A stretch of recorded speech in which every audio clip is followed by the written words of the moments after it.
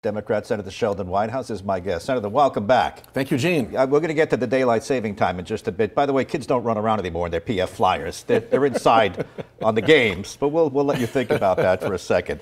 We're taping on a Friday. The president at any moment is expected to pick up the phone and call his Chinese counterpart, uh, President Xi, and say, You better not get in bed with Russia, and you better not have any designs on Taiwan, and you better not this, and you better not that. And what's China going to say? Oh, we're so afraid? No, but I think that when uh, China looks at the response that President Biden has orchestrated mm-hmm. through the entire NATO alliance and beyond to Russia's attack on Ukraine, whatever he may feel about President Biden, he sees this unity in the West and he sees the massive power not only of government sanctions, but also of the follow on through the uh, global corporate sector of McDonald's saying we're closing all our restaurants, we're done with you, of banks saying we're pulling all our loans, we're done with you. So I think um, it, it ought to give China pause. Yeah. About messing around with Taiwan. It's a little different, isn't it? China can say, "Oh, really? Well, we're not going to buy your debt anymore." "Oh, really? Well, we're gonna we're not going to ship you all the cheap stuff, cheap cheap stuff we sell you." A little different than, little than different, Russia. But still, you have this unity that I think is quite compelling, mm-hmm. and I do give President Biden really good marks for reassembling that unity after essentially President Trump's right. efforts to vandalize NATO. If China goes after Taiwan, what do we do? Well, that's a that's an Armageddon. That's a it yeah. it, it could well be. Yeah. What do we do? We hope they don't. What do we do if they do? I don't know. Depends how that's they a, do it. That's too many unknowns. You know, I appreciate that honest answer. That really would yeah. be the tipping point, I think. How do they the go after? Did they, do, do what they did to Hong Kong and slowly squeeze yeah. out the foreign capital, slowly squeeze out freedom? Mm-hmm. Do they actually launch bomb strikes the way Putin is doing against Ukraine? I think those differences make a big difference in the answer. So we wait and see. In the meantime, we're preoccupied. We wait and see, but we build and com- continue to restore yeah. and uh, strengthen this Western alliance that has come together so effectively against Putin. And if China does give uh, Russia uh, weapons to finish off Ukraine, and if they really are in bed together, and if this and if that, then what do we do? That's a, that's a more present yeah, issue. I think the likelihood of that is very slim right now. I think the Chinese have taken a big lesson from this.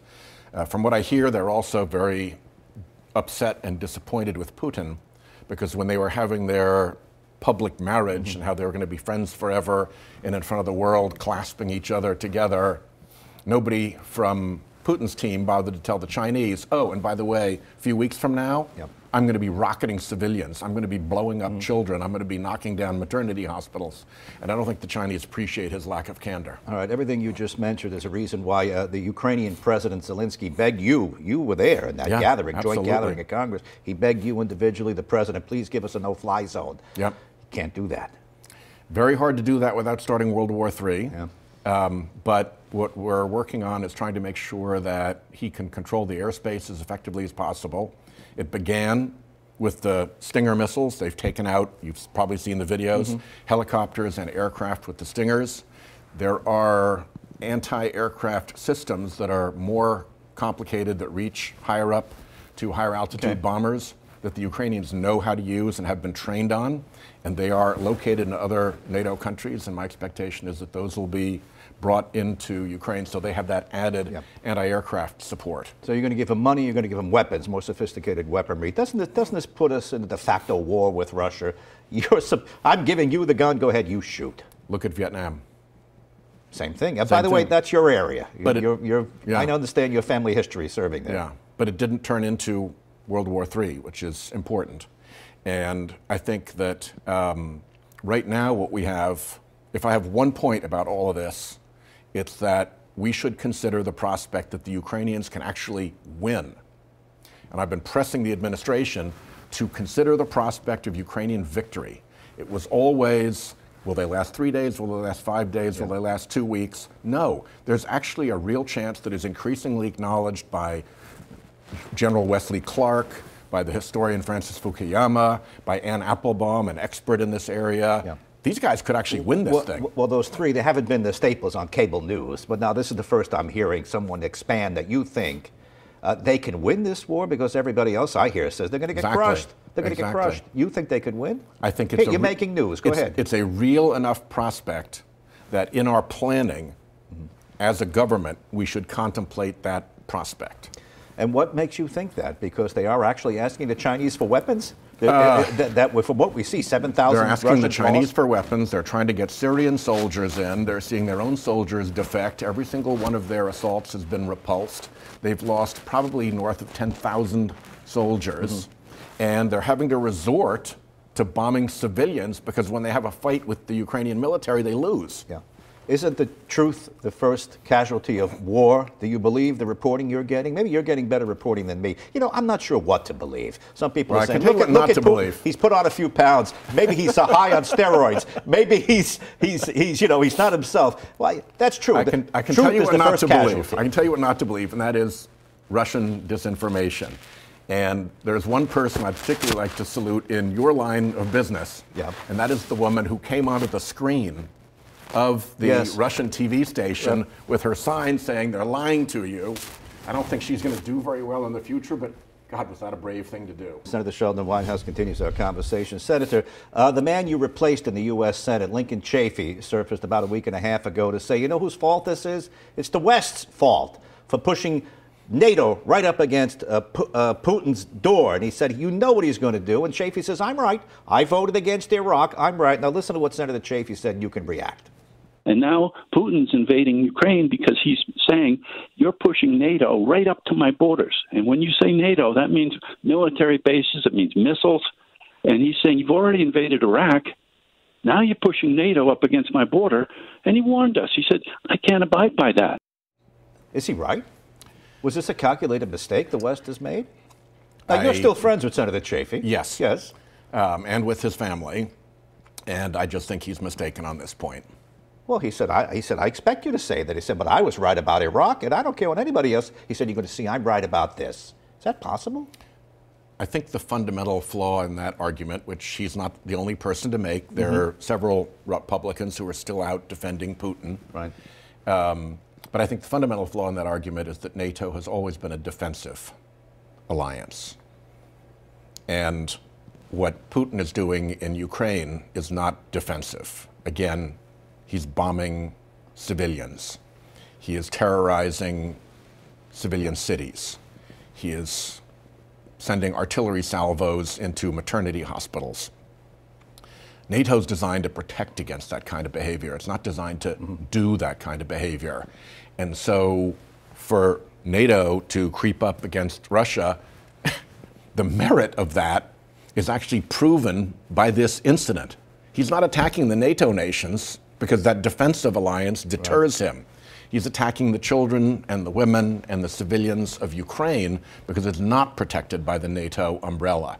But the idea that he's threatened by the NATO alliance, I think, is just fundamentally, factually wrong. You think he's threatened by a pro-Western democracy at his door? Exactly. What he's threatened by is the comparison between a capitalist, Yeah. democratic, free Ukraine and the despotic society that he's increasingly created. That That's a comparison he cannot survive. that his own people can see Precisely. from a high hill. And have families and cousins and in laws. You don't think he's going to go after some of the NATO nations on his on his borders? He's not going to go after Poland. He's not going to go after some of the others. He's a very reckless person and he's cornered right now, so I wouldn't rule anything out. But I think the important thing is to make sure right now that we support Ukraine, help them win a victory if they can, Yeah. and help make sure that whatever gets negotiated is defended against. We remember Ukraine, we promised to defend them in return for them taking down their nuclear weapons. Mm-hmm. So we can't we can't violate our promises to Ukraine a second time. Let's go to the pain we're feeling at home. The president was kind of softening us up. Well, you know, if we do this, it's going to be pain at the pump for It all is. of us. And we saw 4.39 a gallon, maybe a little higher than that. By the way, South County, I don't know why, has higher gas prices than other parts of Rhode Island. You're in Newport. I don't know if you've noticed that in your travels. Uh, whose fault is it that we have higher gas prices? The president calls it Putin's price hike. Yet Joe Manchin, the Democrat from West Virginia, disputed that. He said there's a lot of blame to go around. There is a lot of blame to go around. Um, international fuel prices are set by a fossil fuel cartel that includes Iran, Saudi Arabia, Russia, and others, Venezuela. Um, American companies choose to follow the pricing of the international cartel. Nothing requires the prices to have gone up at the pump in Rhode Island, except that the big oil companies jacked their prices to track the international oil market. Prices aren't skyrocketing because their costs of pumping in Wyoming skyrocketed. They're skyrocketing because of what happened to the international market as the uncertainty around Ukraine and Russia as a supplier spiked those prices. Gas prices were going up long before the Russians put their people at the border. The first thing President Biden did when he got in office was he stopped the pipeline. I know you're going to say the pipeline's got nothing to do with immediate and it prices. Has you're nothing right. to do with it. But he cut off drilling uh, in, on the federal lands. Uh, he restricted fracking. Uh, he said nothing on the ANWR. Now listen to your fellow Democrat, Joe Manchin, yeah. West Virginia, laying yeah. out the president and saying, "Let's go, let's drill." For the superpower of the world, we should not be dependent on Iran or on Venezuela to start producing oil, the dirtiest in the world, when we can do it here in America. He, he's basically saying, come on, it's his, nonsense. His, this is Biden's price hike. His, he's wrong about that, but his point fundamentally is right. And that is, as long as we're dependent on oil, we're dependent on foreign forces that set the price of oil the sooner we can get to a renewable American based economy where the prices are not driven by foreign cartels, that's when we finally have the security that he's talking about. There is no such thing as energy independence when you have an international price set the way you do in the fossil fuel market. Well, have to move to renewables to get off this treadmill. How long have we been on it now? You and I are old enough to remember the gas uh, shocks of the 70s. I do. Odd and even license plates. Yeah, yes, exactly. when do we learn? Yeah. Get off the damn stuff. Um, do you agree, accept the premise that under President Trump, we were a net oil exporter? We were more energy independent under President Trump, and the first thing Biden came in was cut off that and ruin it, and that's why we're, we're more dependent. Actually, I've been com- complaining to the uh, Biden administration that they have not been strong enough on their promises. We are, I think, at a uh, export high, um, and we've got a lot of drilling going on. And we have a domestic oil industry that has thousands and thousands and thousands of fallow oil fields that is just not bothering to drill. Right. If it needs to drill, go to the fields you already own and go drill. Yeah, they say, well, those thousands of permits, that, that's business as usual. They don't know if the gas is under there. They want to go where they know it's a, it's a, they've got it. That's what they count. I think you've heard that. This is, this is your area as well. Yep. Yeah. And I think that at the moment, the key is to move as rapidly as possible to renewables. The oil industry is always going to say, you name your crisis, and their answer is going to be, you need to let us drill more. You want to put a, a uh, you want to put, well, what would you call it? A penalty? A tax, windfall profits windfall tax. profit tax. Yeah, and you've got some co-sponsors. No, no yeah. Republicans so they've got, on board. Not, no, not yet. so you've, you know, the costs are here. Yeah, they're about the same as ever. And the price used to be about here, and then along comes this international incident and drives the price up to here. Mm-hmm. And Exxon's now talking about making $100 million in profits.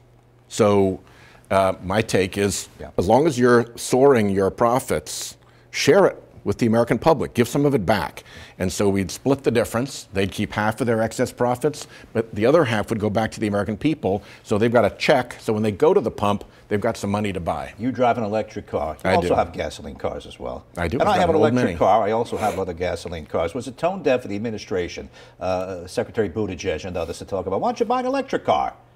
They were You doing know- that, and a lot of people said, "I can't afford gas in my car I have now. How am I going to put the down payment for an electric car?" Wasn't that tone deaf? Probably, because people are facing an immediate solution, immediate problem, and switching to electric vehicles as a long-term solution. Also, these new, like the electric Mustang, the electric Ford F-150, they are sold out. They are making them as fast as they can. Yeah. So when you're asking people to get into a market that is pretty maxed right now, I think that's not a good immediate response. But in the long run, is it the right response? Absolutely. Of course, nobody nobody Absolutely. debates that. By the way, nuclear energy is the right response in the long run. You told me that last time you were I'm on. the leading- How come you don't talk about that more? How come I don't hear anybody else but you talk about nuclear Well, energy? those are two different questions, Gene, because I actually do. I'm the leading Democrat on most of the bipartisan nuclear legislation. We have. Well, I have to watch C-SPAN more then. that's where I, that's where I hear you. But I don't hear you in the mainstream media. no, no. No. Sheldon's the nuclear man. no, there's. Uh, I'm the lead Democrat on most of those, and they're um, small modular nuclears that can be run. The Navy's run them without incident for mm-hmm. years, powering submarines and powering aircraft carriers perfectly safely, so we can advance that technology. There are also newer technologies that would allow us to go through the nuclear fuel waste that now has no plan and that is just stuck at the facilities where it was burned and go back and turn that into power. And that's a double benefit. First of all, you get clean, renewable power out of it, no emissions. Mm-hmm. And second, you begin to chip away at the nuclear waste problem that we have by putting it back into service. Well, no, I mean this. You know, you're, so you're saying I've got the solution. It's nuclear. It's technology. We it's have a piece. It's, it's safer. It's a piece. We could do it safer today than we did it years ago. But how come I don't read about that? I don't see Ted Cruz whacking you because you've been tweeting about nuclear power or going well, after you, and nobody else talks about this it. This is bipartisan. So Ted Cruz would be whacking me on the partisan stuff. Yeah. You know, he's an oil state guy. So when I come out against his oil state mischief, obviously he comes to uh, do battle with me to defend his yeah. oil state patrons. But um, there's not a lot of disagreement here, so there's not a lot of conflict, and so not a lot of yeah. fun for him to come and fight with me on that. All right, let's talk about inflation. You know, Larry Summers used to be the president yes. of Harvard, uh, former President Obama's top economic guy. He's blaming yep. President Biden for inflation. You put too much money out there, you overheated things, and now look where we are. Highest inflation we've had in decades. I have a slightly different view. I think that a lot of the inflation is driven by supply and demand. Everybody knows about the laws of supply and demand. Mm-hmm. A lot of money did get out and it really helped American families, and it put them into buying mode, and that created demand. But the supply chains had been broken by COVID. And when you have a supply demand imbalance like that, prices go up. So we need to address it. We're trying to address it with this windfall tax bill for prices at the pump. We're trying to address it by knocking down pharmaceutical prices for families. Yeah. And we're trying to address it by helping people with a really burdensome expense that they have, which is child care, elder care, care for people at home. Right. If we can do those three things, that will make a very big difference in people's pocketbooks, and they're also the right things to do. Oh. And we're trying very hard to do that, unfortunately. Yeah. against Republican opposition. Well, give Larry a little bit. He's the top economic advisor. He said you threw too much money out there. Is that also, and there are lots of, also there, a factor? There are lots of different opinions about this, and there may have been too much money put out there, but that's a quality problem to have. Remember the difference between how people were uh, able to respond economically with all of the funding that's gone through to the states, yep. all the funding that's gone through to families, compared to back in 2008 when we had the mortgage meltdown. And people, I still to this day remember the pain and the anxiety mm-hmm. and the fear in Rhode Islanders about losing everything. Yeah. Families lost their jobs, they lost everything. And there wasn't the support there for them. The Republicans blocked the Obama plan to provide the support that they wanted. This time, the support was more robust. People got through it fine. The after effect of it is the supply demand okay. problem, and we're trying to address it as hard as we can. It was robust. At some point, you were giving people in the restaurant industry, technically, they're making $60,000 a year on unemployment if you looked at what, what you were giving away, and we couldn't get them back to work. So you could see this notion that we're a little too generous. By the way, well, I, I understand your, your thinking on that. Let's move. You gave a billion dollars in uh, relief to Rhode Island. We still have most of it sitting up in the bank. Who is that for? Because every advocate has got their hands out. Uh, Senate, uh, Speaker Shekarchi told me there's $7 billion worth of asks for $1 billion to give away. For the homeless, for affordable housing. How about everybody who suffered in the pandemic? How about me? How about you? I think that the decision was to send money to the states and to let the state governments and the municipal governments spend the money as their local needs justified. So I think it's totally healthy that groups are coming in and people are coming in right. and asking their legislators, hey, here's where we need the help, and here's where the money should be spent and the legislature took time to listen. They're working on it right now. They've put out the first tranche through Governor McKee. They're reaching agreement on the rest of the spending. And the same thing is happening at the municipal level with all of our cities and towns also making those yes. decisions. That's to me, that's very healthy, and that's where the decision making best lies. Shekarchi pointed out a lot of these uh, cities and towns are flush with cash as well. But there's a notion why don't you. Uh, why don't you cut the federal gas tax? Why don't we cut the state gas tax? Why don't we end the excise tax on property, property tax on your car faster? Wouldn't that help everybody? Everybody, regardless of how much you make, everybody suffered. Is that? Do you agree that with that as a premise? I don't know. I honestly don't know. I think what the legislature is doing could Yeah. very well cause better and more broad benefits to the Rhode Island public. And it's their job to figure that out. That's why we elected them. And I think they're going to do a good job of it. Senator, you're a big proponent of leaving the clocks as they are. No more daylight saving time. You said let the No, kids run around. more- in the, more daylight well, savings Yeah, but time. don't change the clocks. No Exactly. more changing Permanent it. daylight right, savings permanent. time. Let Bingo. the kids run around in their PF Flyers. They don't do that I didn't say PF Flyers. Well, we, I'm just looking our and we, generation. and we our want, Converse. we What- want kids to play outside. Yeah, but you know, there's people who push back and say it'll be too dark in the morning when they get up and go to and go to school in the winter. Have you heard the other side? There's no thing that you can do these days that's good enough that somebody isn't going to complain. But let me tell you, this is hugely, hugely popular, which is why it passed the Senate unanimously. So you're saying there's no argument here. Do you believe it to pass No, I think House? there are, there, there are arguments on the other side, but I think the, the very strong balance is that there are more people out Mm-hmm. between 4:15 and 5:15.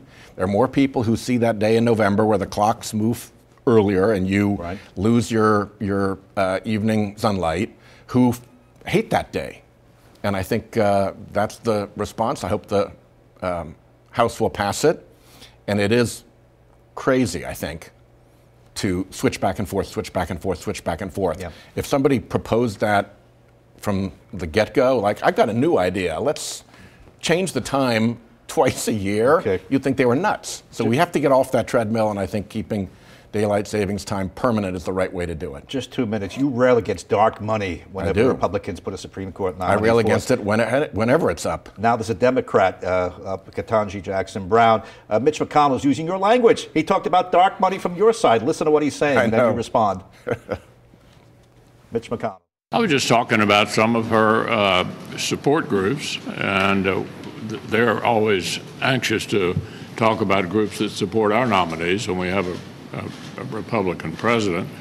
Uh, what's good for the goose is good for the gander. The goose and the gander. He says Well, you're doing the same thing that you They're, complained about. they're going to have a chance to vote to get rid of the damn stuff. Yep. And we're going to give them that chance, and I hope that this spirit of Mitch McConnell's against dark money uh, reveals itself in the votes. 10 seconds. Do you believe the red wave is coming? You don't have to worry. You're not going anywhere, but the Republicans are taking over the House. We'll see. And I think the Senate, too. I think a strong economy, uh, a strong pressure on special interests. I think we can show a winning hand in November if we play this game with any, uh, if we play it smart. and you've been on the other side. You know what that's like. Yes. Yeah. You like it better Yeah, this waves way, go though. bo- waves go both ways. All right. Senator, you're headed back to Washington. You were up here for a little while. You're going back? Going back to uh, have the hearing for Judge Jackson, who Rhode Island moment. She was a clerk for Judge Bruce Selya. Yes, I who know thinks that. very, very highly of her. I had him on. I had him on. He's very good with her.